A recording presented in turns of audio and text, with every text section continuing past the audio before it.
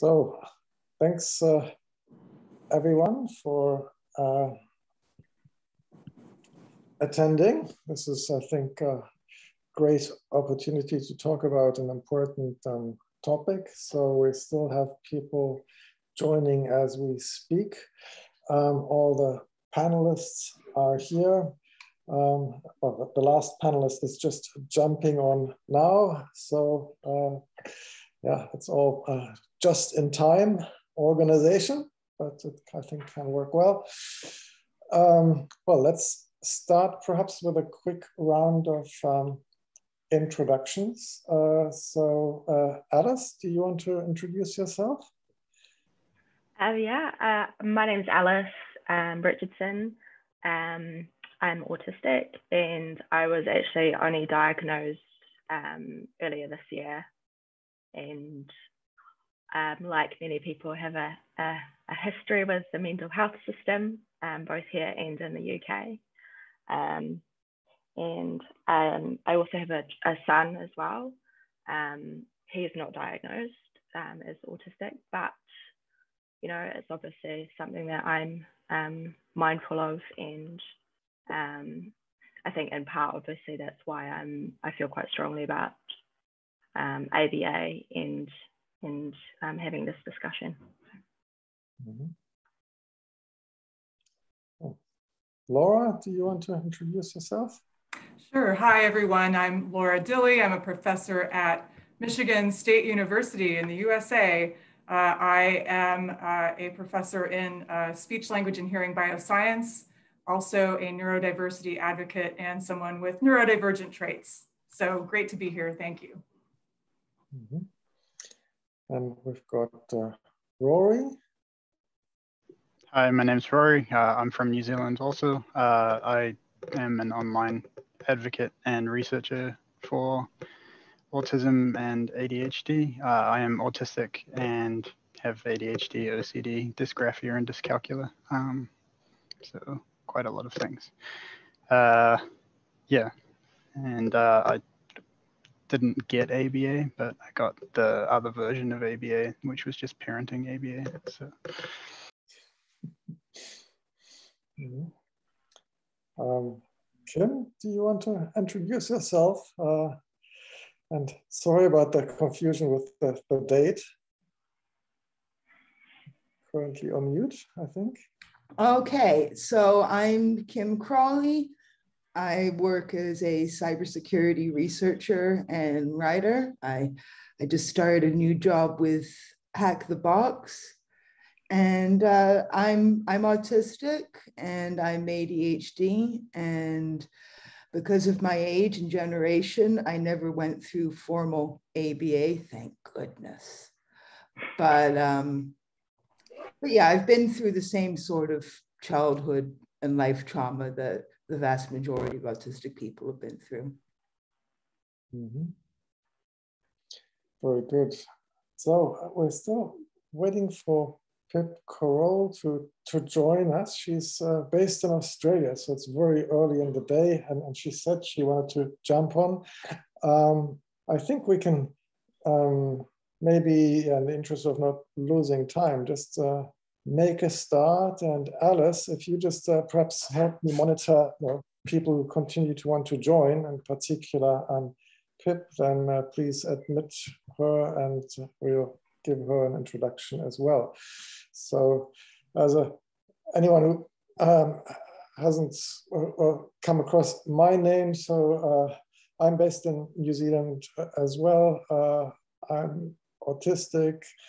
Um, and well, for the last few years have been involved in, in activism around um, autistic people, in particular uh, autistic people, uh, how we're treated in the workplace, psychological safety basically is, is a core topic that I've come to see as of being of critical importance.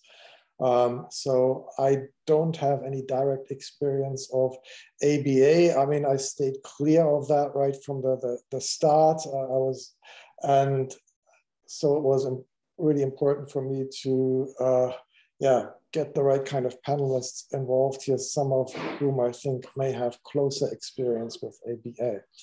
Um, so, uh, and what we've done is we've prepared a list of questions that we'll go through, uh, read them out, and then everyone has a chance to uh, respond to these uh, questions. Um, we'll try to get through, uh, if we're lucky, we'll get through to six questions, uh, which are, I think, big questions. Uh, and then there are further panels that we are coordinating in the coming weeks. So this is only just the start of ongoing discussions about this topic because I think we can um, make further progress uh, based on the, the excellent uh, campaigning that has been done um, by the uh, LGBTQ uh, communities uh, and with where we're now seeing uh, globally in multiple jurisdictions, we are seeing bans on conversion therapies. And, and really, I mean, what we are talking about here is, I think,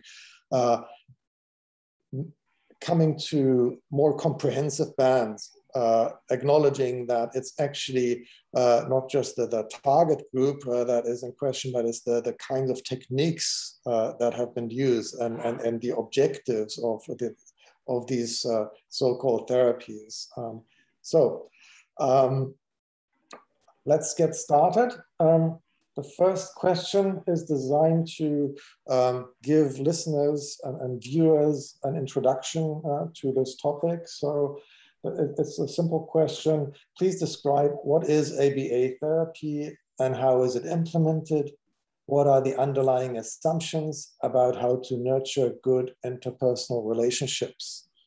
Um, Anyone want to start on that? I guess I will. Um, ABA was actually the precursor to what later became gay conversion therapy. And so it all has the same root, this awful, evil man behaviorist, I believe named Ivar Lovaas, who believed that autistic people were not human. And he even blatantly said that. Uh, he believed that, you know, we didn't have thoughts or feelings. And that's the evil, evil behaviorism. It's all about you're just your behaviors. You don't have thoughts, you don't have feelings, you don't have complex motivations for what you do, you don't have intrinsic motivations. You are just a combination of behaviors to be rewarded or punished. And some of Lovaas's punishments were especially brutal and violent, and some really violent uh, ABA approaches are still practiced today, especially at the Judge Rotenberg Center with the co constant electrocution, which is incredibly disturbing. Um, modern ABA practitioners will often claim, oh, well, ABA has changed. But there are multiple problems with that. Like, first of all, you know, their organization still holds the Judge Rotenberg Center in high regard and Lovaas in high regard. And the other problem is even if you're rewarding someone for behaving a certain way, it, it causes the same problems. You, you don't uh, do things due to your own motivation. You need some sort of external source saying, do this, do that, don't do this.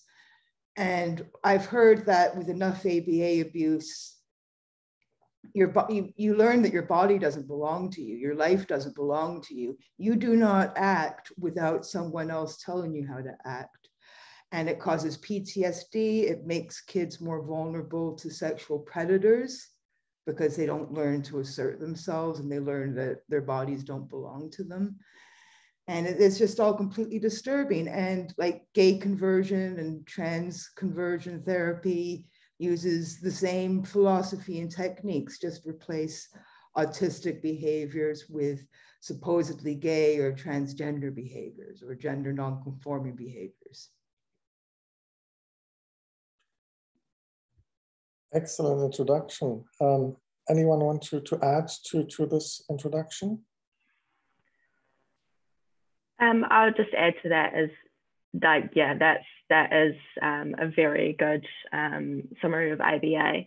I think that the the tricky thing about it is that now, um, as you mentioned, modern ABA practitioners they um, do a lot of things to cover up what is essentially that same idea of of trying to make an autistic person be and look like a non-autistic person. So the, the core idea is that being autistic is incorrect and we need to change the way that we present ourselves. Otherwise we're wrong or, you know, it means that we are upset or sad when in actual fact that is frequently not the case.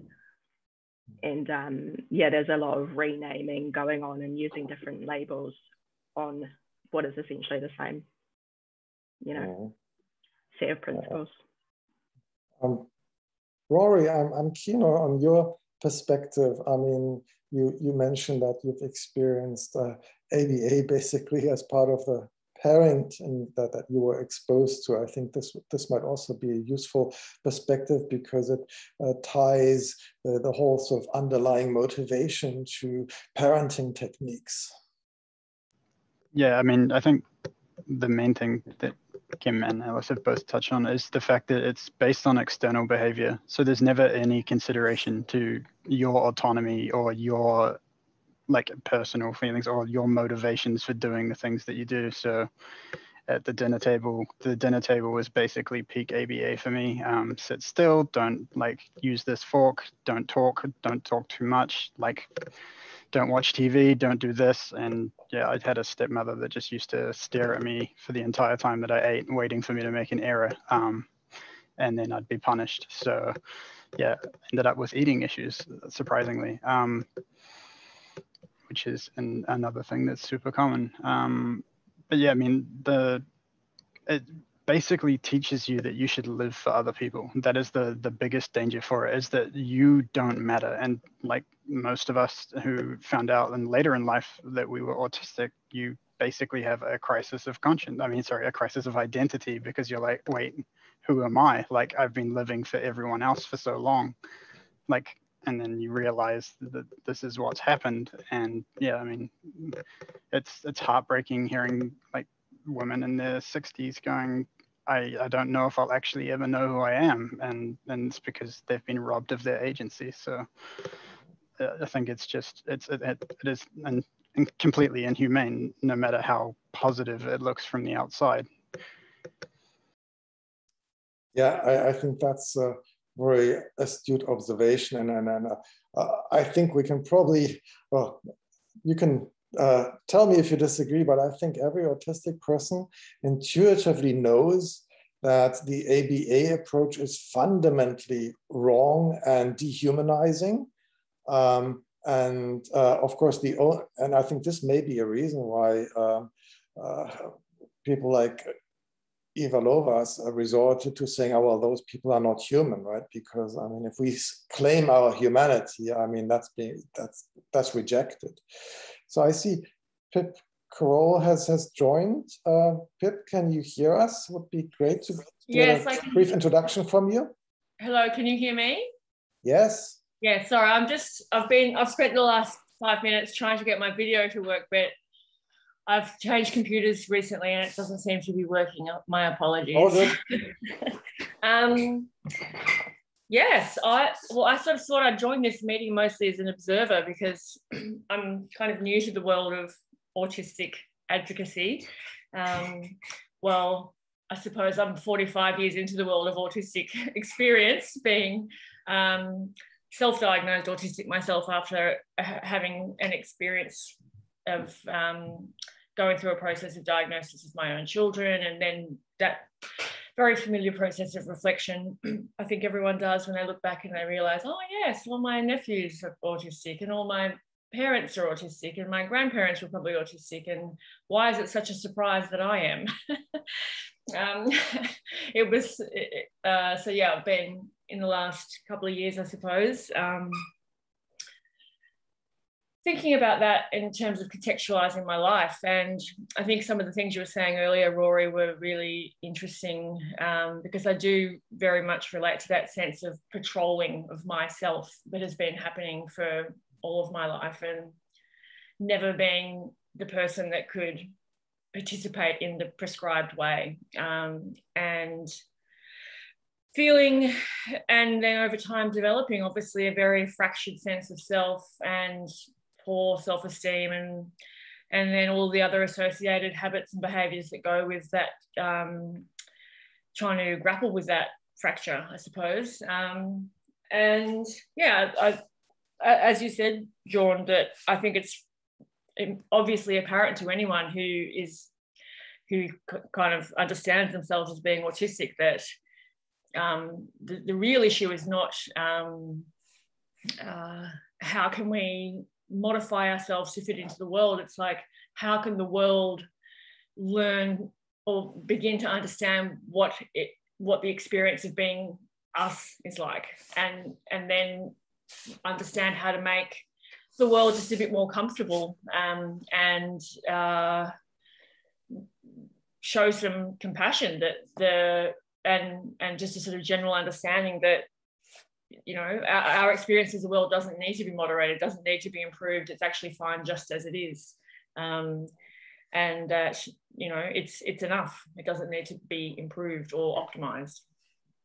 Yeah so i, I think that I, I, would describe this as you know aba has this um, desire to achieve some sense of normality in the sense of standardizing our behavior. And, and so I really like this, this notion of hypernormativity. And, and that's, I think, what our society has become. And what's very apparent to hypersensitive or autistic people, uh, and that sense of hypernormality somehow escapes the well, so-called normal population.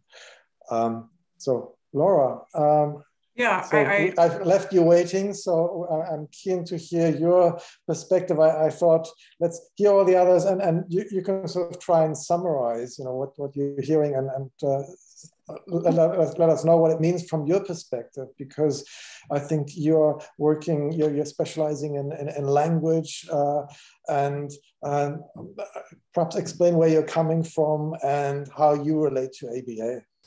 Yeah, well, I, I first would like to, to validate and uh, uh, the, the, the opinions and, and thoughts that have already been expressed. I think you all shared wonderful first person perspective and uh, I really can't say anything better or uh, uh, I don't in any way disagree with you.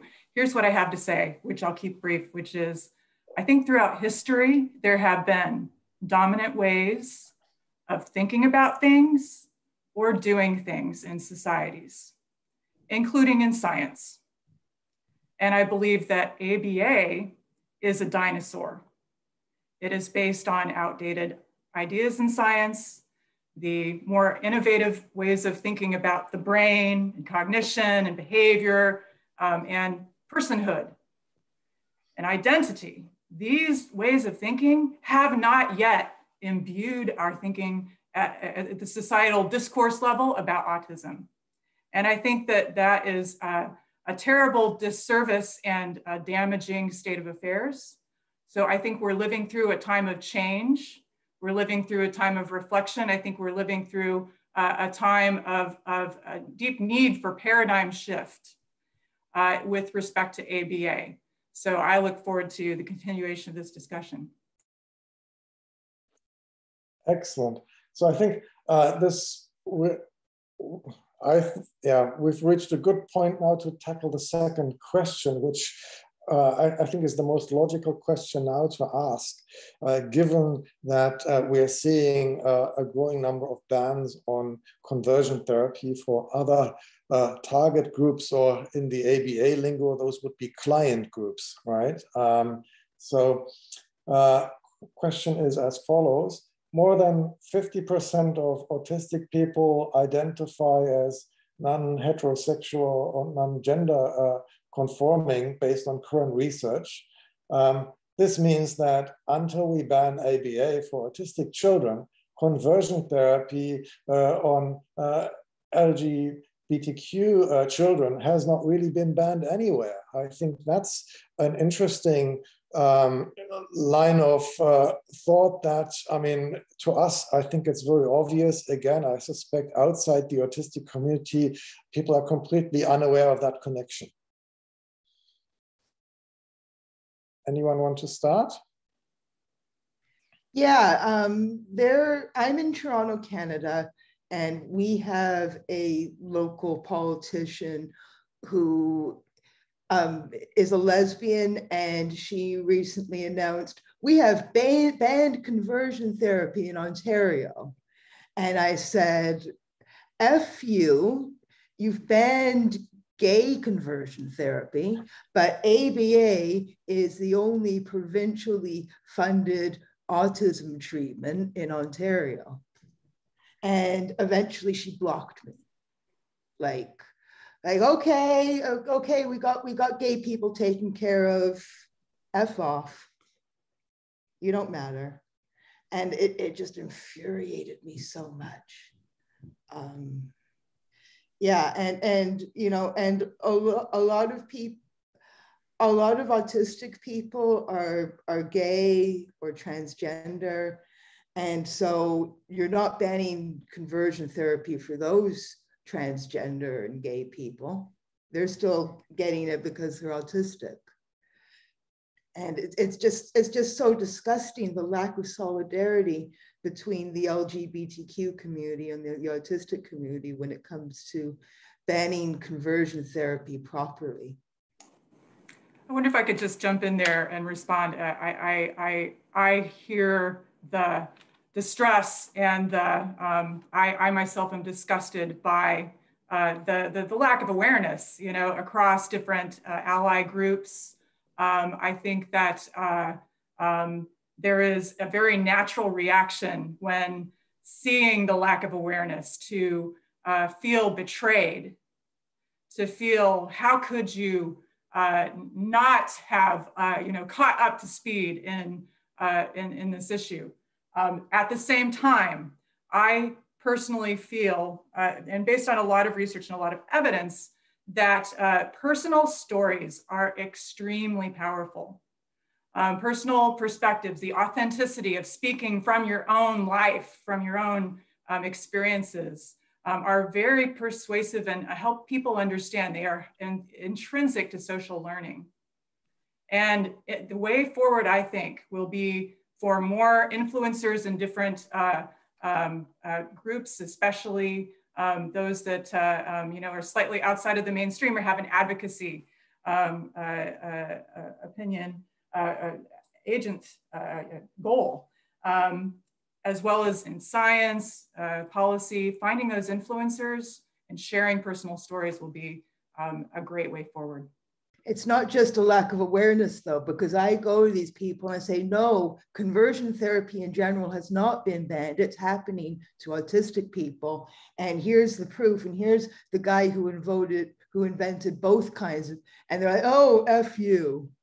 So that's not like a lack of awareness once we inform them and they still tell us to go F ourselves. So.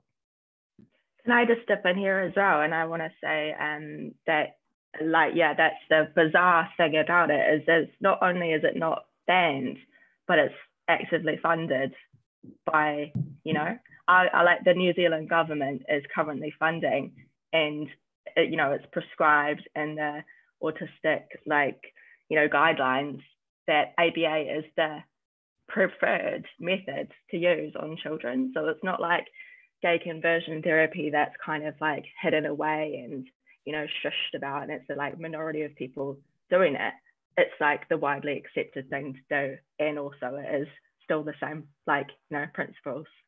So it's it's a it's a very like disturbing um like setup that's currently going on.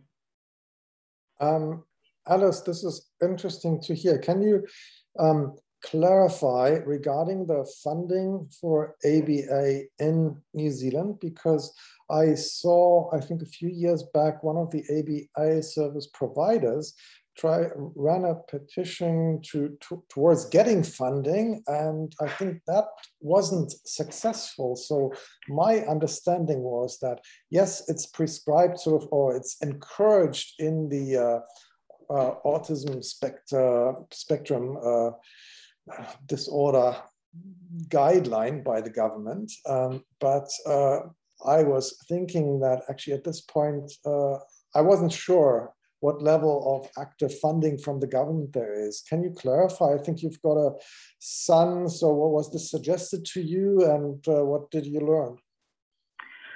Well, basically, I've been doing a bit of like investigation. So it, it's pretty much the I've discovered that Autism New Zealand, which is like the largest charity mm. in New Zealand for autistic people, or the autism community, um, as they like to call it, um, they are currently funded and the only people funded to provide early intervention.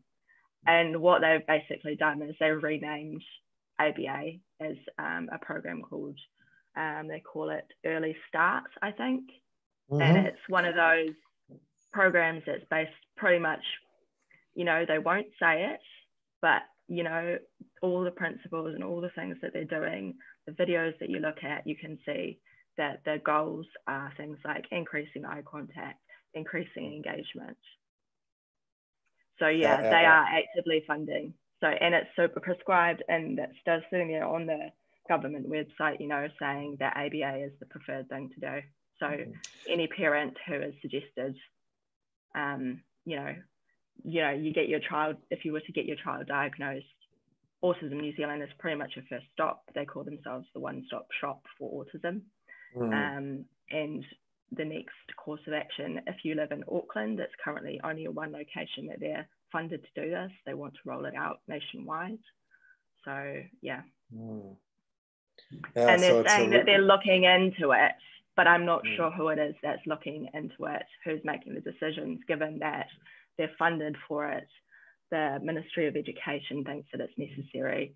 Um, mm-hmm. And also the fact that they are connected with um, you know behavioral therapists and yes. the people yeah, that work yeah. for them are also mm-hmm. qualified. And and mm-hmm. I mean, I don't really care that much how the techniques look that are being used. I think the the challenge starts with the objectives, as you illustrate. You know, things like eye eye contact and other expected behaviors that are just part of the social cultural norms in our society that are incompatible with uh, autistic neurology.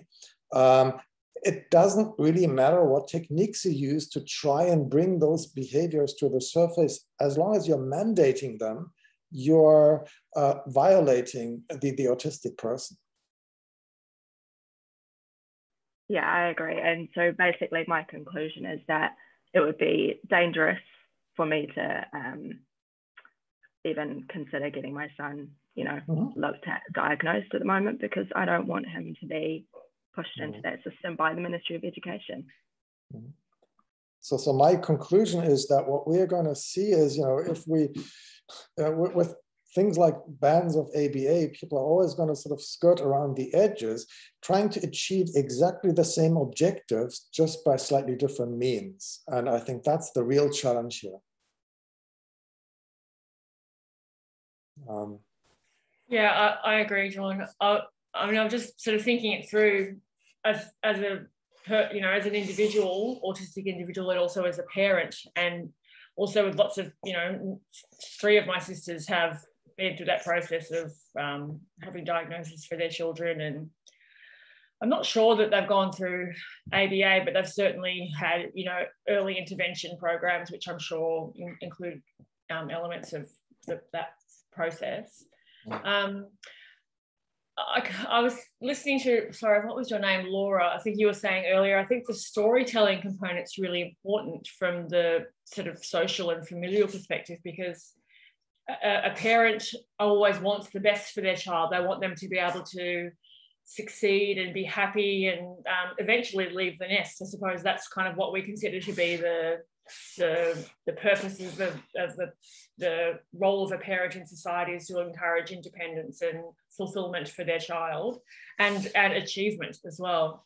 And I suppose an interesting thing to think about is if not ABA, and I think this might fall into one of those questions that you, we had on the, the thread, Jorn, is mm-hmm. um, what what then? Um, what do we what do we offer parents and families of people with children who are obviously demonstrating all their signs of being autistic, um, what tools and messages will we provide them with or communicate to them to, to let them know that this is a pathway that's actually humane and is going to result in better uh, better outcomes for their child in the long term.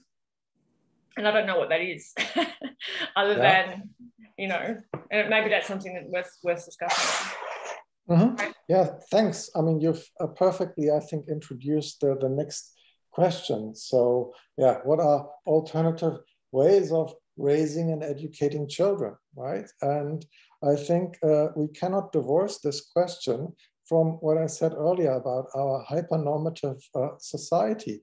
Um, we have diversity and inclusion initiatives in workplaces, but we don't, our society actually doesn't appreciate uh, diversity. And we see this via this pathologization of so many uh, people, uh, and including, of course, the, the, growing number of autistic people. So uh, I think the it's we have to educate parents.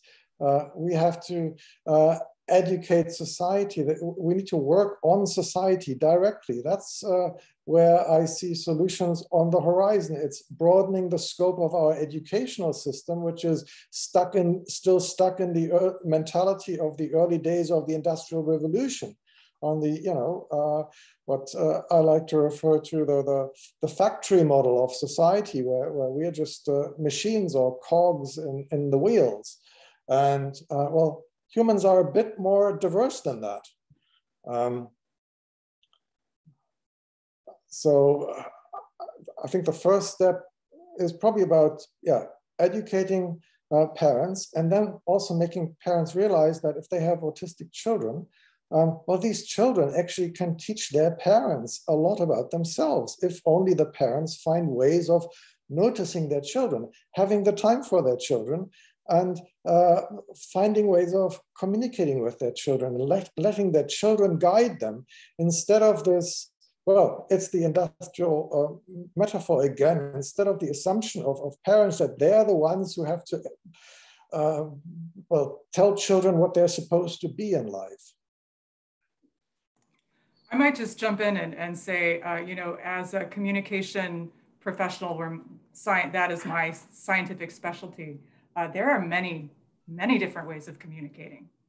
Uh, non-verbally, mm-hmm. Uh, um, uh, you know, with words, with some words, with unreliable words, uh, with emotion, which may be hard for different people to read. Maybe this the socially normative way of reading emotion is not going to apply in all cases. Mm-hmm. So I, I just feel that uh, you know there there is a need for um, autistic advocates to share your authentic first person experiences to help broader society socially learn you know you are the experts and uh, and, and as parents uh, are encounter encounter the narratives around autistic people's experiences they will become more aware and educated about um, the strengths and you know the the, um, the challenges of being autistic um, where and, and the individual paths that people take um, and help uh, find a healthy way for them to relate to their child, which then they can advocate with for with speech language professionals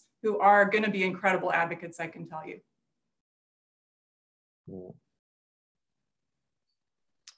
I think I think you've made some excellent points. I'd like to add that I got into a Twitter fight recently with this inane autism mom who was, I, I think, uh, I think Lyra, KK Neurodivergent Rebel, or someone else was talking about intrinsic motivation and how ABA kills intrinsic motivation and how children obviously learn by intrinsic motivation.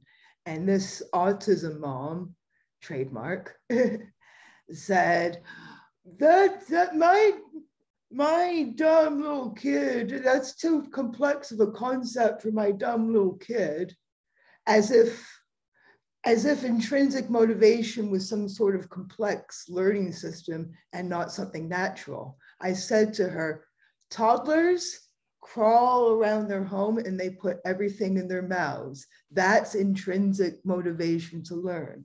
Or if you as an adult all of a sudden become curious about a topic and you start searching about it on Google, that's intrinsic motivation.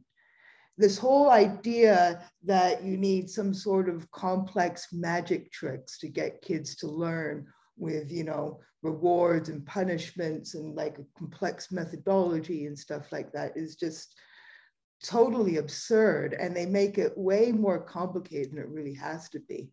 I think the only major difference between teaching an autistic child and an allistic child is an autistic child may have sensory sensitivities that you need to, to help them with.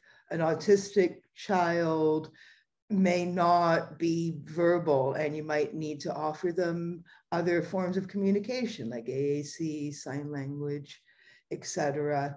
But aside from that, like autistic kids learn just the same way as other kids and they just they they make it so complicated as if we're a different species or something it's just it infuriates me um, I'll just jump in there as well if that's okay and just say I 100% agree. I think like basically um, if you do nothing, that's probably a better, you know, better way to go than what is currently happening. Like just leave them alone, like to start with.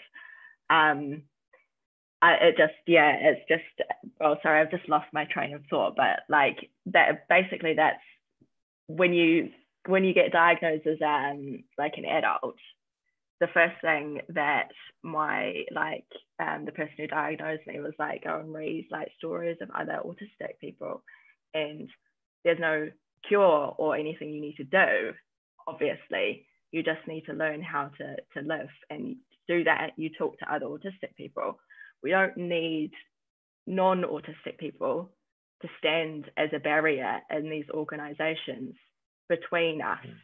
you know, as if we can't talk to each other. Like that is the problem. We can't talk to each other because they're there stopping us from talking to each other. That's how it feels at the moment. So it's like I mean, all they need to do is like read a uh, read a book that's written by an autistic person about how to look after their child. Like that's yeah, it's not yeah, yeah. And it's just letting us be autistic, letting, letting children be autistic, uh, accepting that being autistic is being human. I mean, that would be a start. Uh, so just want to also point out, like they always use autism severity to try and justify ABA, um, but you can read, go online and read the words of like non-speaking autistic advocates and they will all tell you that they didn't like aba and it didn't help them and instead it destroyed their relationship with their parents or you know just made them not want to live. Um, i think especially as well like the uniformity of our experience is, is like i've got tons in common with non-speaking autistic people. Like I read Naoki Higashida's book, uh, mm. The Reason I Jump, and I learned more about myself from a 13-year-old at the time non-speaking autistic child than anyone else in my life had ever told me at that point. And yeah, I mean, it's this idea that you know people are severe or intellectually disabled, I think like in most cases that's not true. They're just not making the effort to communicate with them in the way that they need to because they have apraxia or just some other neurological difference that means that they can't control their movement. And uh, yeah, it's I mean it's been really heartbreaking seeing the non-speaking advocates come out and say, hey, like we're here, stop treating us like there's nobody home. Like, mm-hmm. yeah. Rory, I had exactly the same experience reading that book. Um, it changed everything for me. Like it, reading that book was what made me understand that I was actually autistic, um, even though you know from a exterior perspective, someone else would say that I was a highly functioning and extremely competent person who was able to achieve lots in society. But I felt exactly the same way as you. My interaction with the world and my sensory experience of understanding my place in the universe was extremely similar to this 13 year old non-verbal Japanese boy. Um, and so sort of joining that, I guess, one, one therapy that um, I found was useful for my son only in the sense that it kind of gave him a it made him feel good in himself and, and about you know helped him because he's also you know, if we're talking about diagnosis, he's also diagnosed as ADHD and dyspraxia with dyspraxia. And so he's, you know, very clumsy, has poor motor control, fine motor control. Um, we used a, an occupational therapist who used the green um, the Greenspan floor time method, which when it comes down to it is really just about regulation, about how well a person is regulating themselves and regulating their emotion. And that obviously depends on the sensory inputs that are happening around them. So being able to respond to what your needs are and understanding what your needs are and modifying either your your um, participation in that environment or the environment to suit you. And then the other thing which I think that was essential to this approach was looking for the glint in the eye of the child. And you know, the little twinkle in the eye is that when you when you have that and when you when you when you have that exchange with another human being or an animal or whatever you know that you're in communion. You know that communication and exchange is ready to take place. Um, and so it's it's using fun and play and um, uh, uh, kind of emotional ways of interacting rather than um, kind of rigid um, behavioral ways of reacting to encourage that moment of connection because that's essentially fundamentally as humans not just autistic humans all humans are looking to achieve is that essence of being connected and um, in communion with one another. Just a brief uh, comment to amplify rory's comments. The notion of overly simplistic categories of severity being used as justification or premise for mandating ABA therapy is invalid, scientifically outdated, and damaging.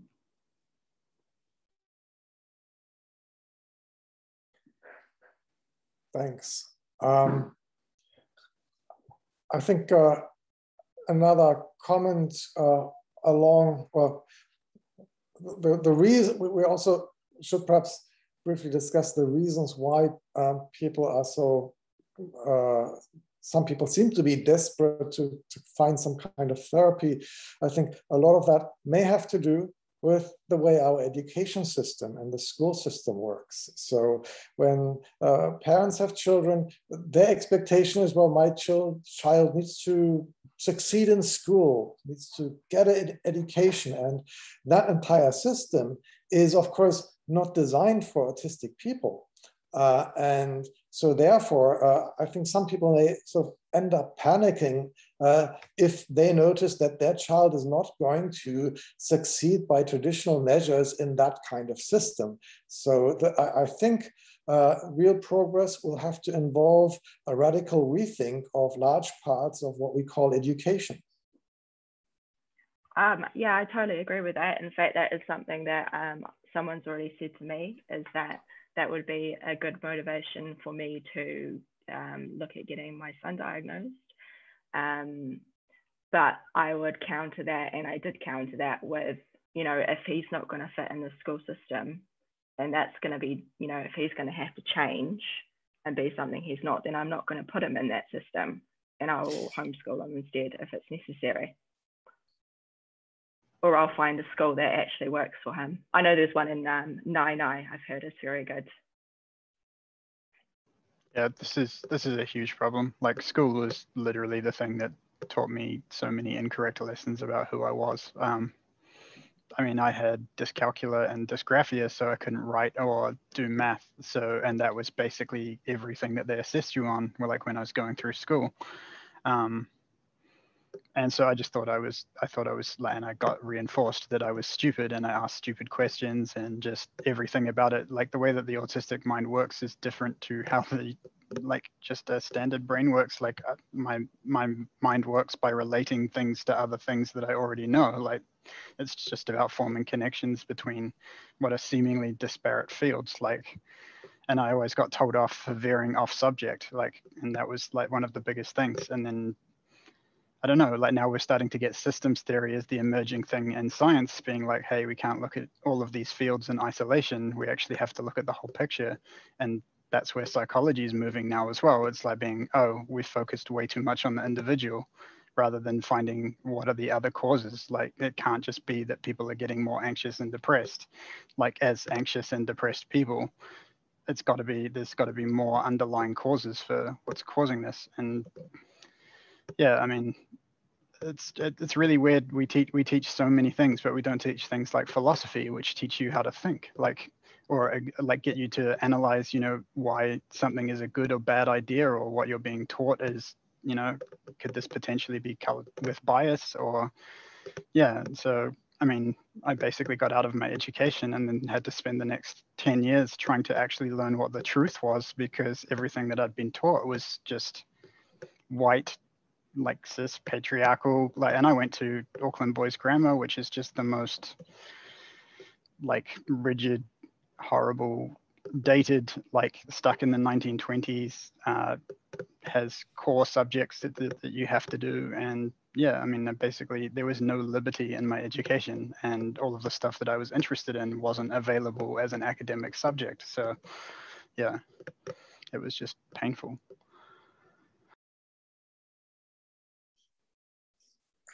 my, my experience of dealing with the education system in Australia has been pretty woefully um, uninspiring.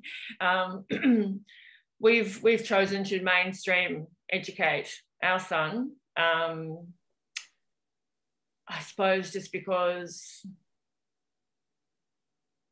uh, you know it's it's really hard to work against those systems you know because you yourself have got to find money to work and it's it's it's really difficult like it is like you know i think this is part of the problem with the autistic mind is it can't it can't separate one thing from another. It has to think about everything all at once and therefore it's really difficult to um, try and fix one aspect of something without them knowing that there's always deficits in other areas. But the the the level of understanding about autism and, and neurodiversity in in children in the public education system in australia is very very poor.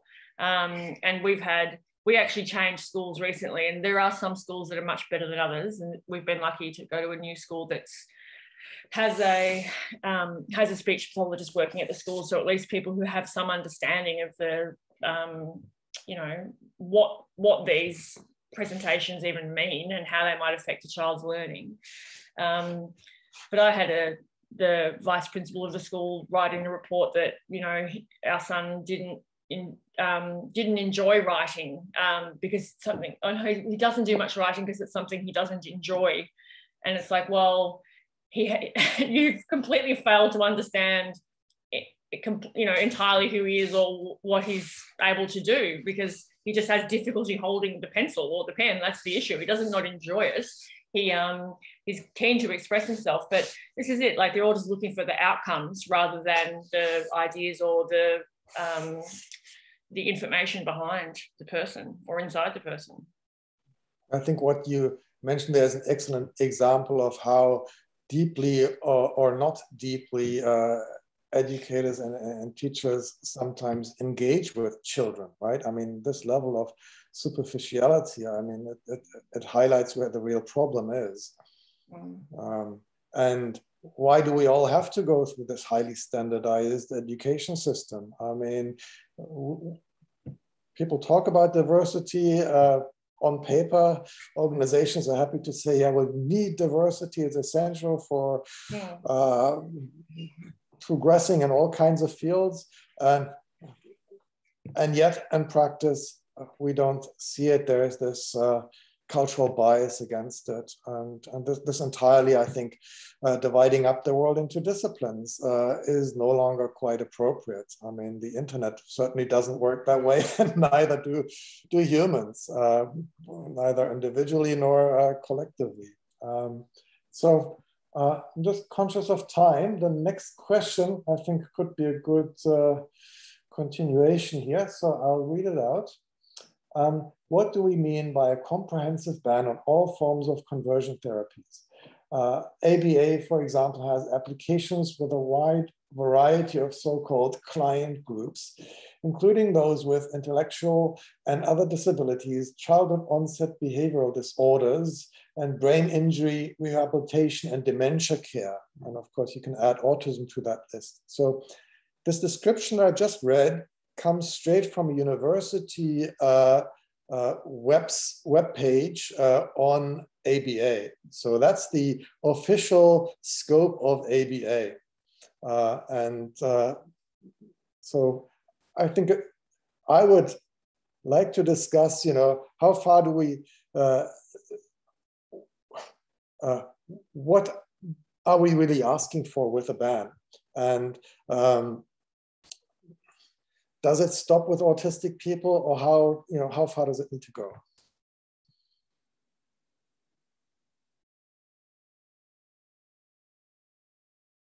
Um, I've got, I, I guess, uh, a, sort of a talking point, I suppose, that kind of expands on that. I think um, what I'm noticing is that all of these organisations that are involved, whether it's a school, you know, Autism New Zealand, um, Ministry of Education, they all need to create measurables, basically. So they need a goal and they need to be able to measure that, and that proves that everything's working. So that kind of goes across all of these groups. So if, if you've got someone, you know, who's intellectually disabled, um, the measurable is going to be something like they are having fun and smiling more. Like that's literally what it is. I've worked in one of these organizations, that's what they measure stuff on. Like that shouldn't be what they're measuring on. And I think that, that if we can get like break that down and um, and really like stop that from happening stop measuring based on what things appear to be to people who aren't you know involved and maybe talk to the actual people and say how are things for you? Are they improving or are they not? Then we might go some way to actually stop it from happening.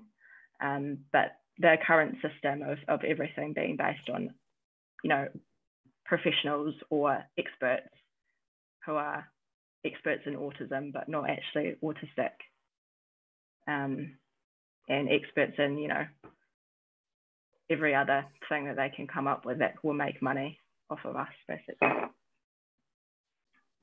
yeah i think so banning ABA, like on a general level, is just presuming that people have competence. Like that is the number one thing. So, I mean, with all of these groups that you've mentioned, like there's an underlying definition in society that these people don't have agency, like they can't think for themselves, so we have to do it for them, and that's kind of the underlying principle. So, I mean, yeah, with intellectually disabled people, they usually know what they want to do. Like I've talked to tons, like they know what they want, like, and then it's because it's not something that, I mean, and for sure for like problematic stuff like where they are injuring themselves or others that is like something that you can work with them on. But you need to find out the reasons that they're doing it first which is something that's never asked. Like they just start trying to fix the behavior without finding out the motivation for the behavior. And i mean this this is like in aba research last year they they basically were trying to get a child used to their sensory sensitivities uh, with uh, sound, which is one that's super common across all autistic people, is that we have a higher sensitivity to sound. And they did this by locking him in a like three by three room and just playing ridiculously loud, like crying baby noises and stuff that is known to actually upset people. And then it just reminded me of, you know, like the, the Clockwork Orange movie. Like that's literally what they were doing to him. It's just and apparently that's ethical like that passes university ethics committee. so i think yeah i mean we need to start respecting that people are different like that that is the underlying thing like just some people are different they don't they don't conform to normal standards and that's okay like mm-hmm. the society always preaches individualism but the second that individualism shows up they're like no be like be like a collective in this one way yeah, it's, it's about social power. It's about control, the desire to manage people. And um, I think the conclusion that I'm drawing is uh, this, this whole, uh, well, society has become very, well, de dehumanizing. So uh, functioning in standardized ways is appreciated more than the ability to develop trusted relationships and people have become time poor. So, I mean, when I write about society, I write about this cult of busyness that we've created. Um, and uh, this means people don't feel they have time to attend to children. They don't have time to attend to disabled people. They don't have time to uh, uh, uh, spend with, with uh, old people who may require care uh, and, and, and just human contact. And so we're trying to commoditize everything. Uh, and uh, so again, I think we can uh, put as autistic people in a, we are in an excellent position at putting, holding up a mirror to society and, and just throwing up these questions. I mean, we don't need to pretend to have all the answers. I mean, I, I think I've got a number of good ideas, but uh, first step to, to collectively uh, changing something in society is to recognize that we've got severe problems at a social level and not at an individual level.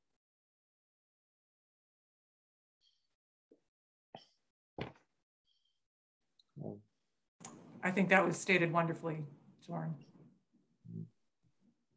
The burden is on society now to change, to accommodate. And the, the, my conclusion, therefore, is that there is no use case for ABA or, or, or similar therapies this desire to control and manage people has gone far, way too far. Um, and we need to pedal back. Abolish capitalism. Yeah, I mean, this is another interesting big discussion. I mean, if uh, we, will, I mean, in the autistic community, as you know, we're having these discussions all the time.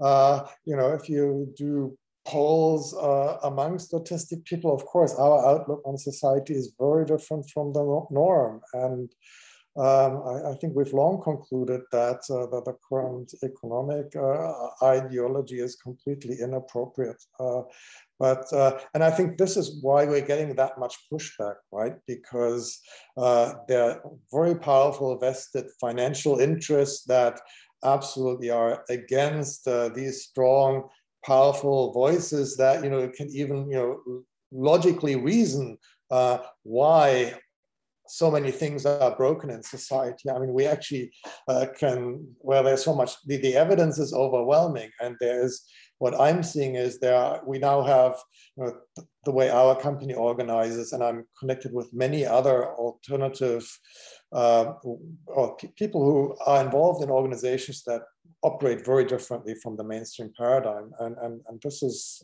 an emerging uh, trend, uh, which from the perspective of mainstream society is probably highly concerning. Um, but, uh, uh and you, you, can see this in your, even with COVID and the pandemic, uh, the initially people noticed that, oh yeah, well, actually all this busyness, maybe we don't need all of that, but uh, uh, one year later and busyness interests and the politicians are all about getting back to so-called normal. Um, next question. Uh, uh, sorry, anyone else have comments uh, on the previous question? So how far does a ban need to go? So I guess if I understand correctly, we're saying we don't want these techniques to apply be applied to anyone, right? Not just the autistic children. I mean, sorry, yeah, just to, on this, like the International Federation for Dog Trainers is like, they don't allow behavioral therapy. They're like, you need to respect the dog. Like we, we've been doing so many things wrong. Like this is inhumane. And that same level of care is still not applied to people. Like, and it's, yeah, I mean, these are the things that if it's, if you wouldn't do it to a dog, why are you doing it to people? Like anyone, like. That is remarkable. Do you have a link that you could share yeah, yeah. to the chat window? I'll, I'll, I'll drop it in the chat. Thank you for that.